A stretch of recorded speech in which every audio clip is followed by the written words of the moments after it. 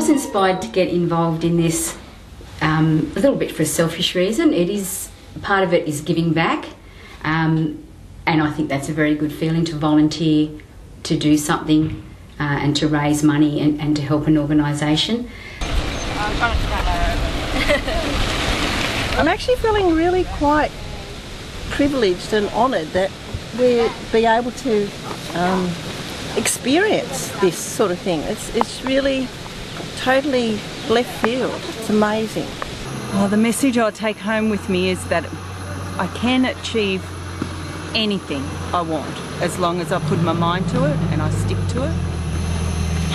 And it mightn't always be easy, but you just keep the end in mind and take it at little steps. You don't have to race and get through it. Little steps, little goals, and get past them, and yeah, it works.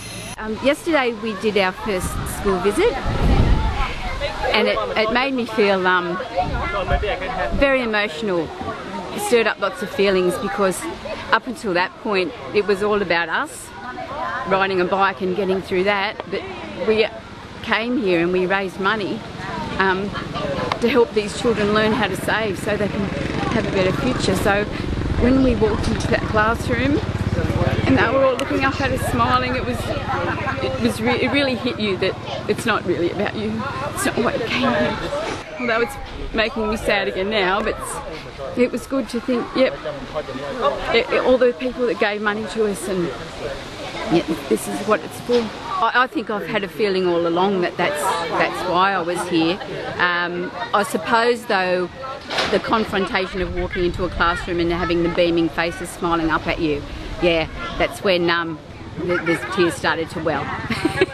yeah. It's really pleasing to see um, the results that are actually coming out of, of the program that they're being put through and I think that going forward that's going to be a huge benefit to the children and I'm just amazed and everybody should be so proud of, of, the, of this system that's actually been introduced for the children and to see today that um, we've actually visited the poorest school and 99% of those children put their hands up to say that they'd actually started a savings account and to note that only two of the children prior to the program had a savings account going and I think that that is just sensational. You can never, never ever experience this sort of thing ever again. If you don't do this program you will never know. You'll never know it is well worth the $37 a month for a village entrepreneur, but the $3.80 per year to teach a child how to save is